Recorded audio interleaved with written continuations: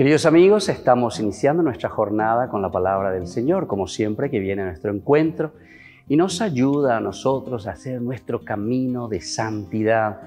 Hoy escuchamos la palabra de Dios, reflexionamos desde la carta que escribe San Pablo a los Colosenses, capítulo 1, del 15 al 20. Todo fue creado por Él, nos dice la palabra de Dios. Cristo Jesús es imagen del Dios invisible, primogénito de toda la creación, pues por Él fue creado todo en el cielo y en la tierra, lo visible y lo invisible, majestades, señoríos, autoridades y potestades. Todo fue creado por Él y para Él. Él es anterior a todo y todo se mantiene en Él. Él es la cabeza del cuerpo de la iglesia. Él es el principio, el primogénito de los muertos, para ser en todo el primero.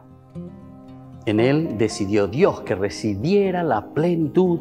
Por medio de Él quiso reconciliar consigo todo lo que existe, restableciendo la paz por la sangre de la cruz, tanto entre las criaturas de la tierra como en las del cielo.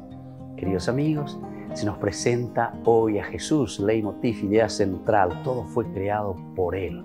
Es decir, aquí encontramos la fuerza y la gracia de Dios que actúa y que lleva a la unidad. El hecho de decir que todo fue creado por Él nos está diciendo que nosotros hacemos parte de una creación, por lo tanto todos somos hermanos, todos dependemos de Dios.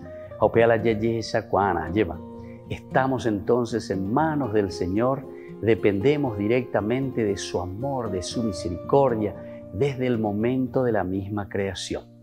Aquí no miramos simplemente el poder, de Cristo o el poder de Dios sobre la creación, sino que sobre todo de ese poder que es la misericordia de Dios, hace que nosotros también entendamos que tenemos ese poder del amor y de la misericordia en nuestro relacionamiento.